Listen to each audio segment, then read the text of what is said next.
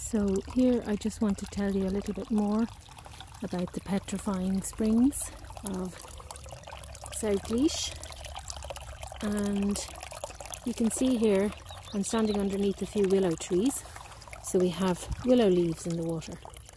But they are hard and crusty you see?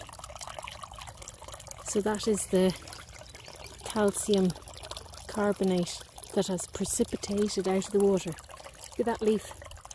It's a willow leaf that would have fallen last autumn and it's completely petrified. Covered in natural limescale.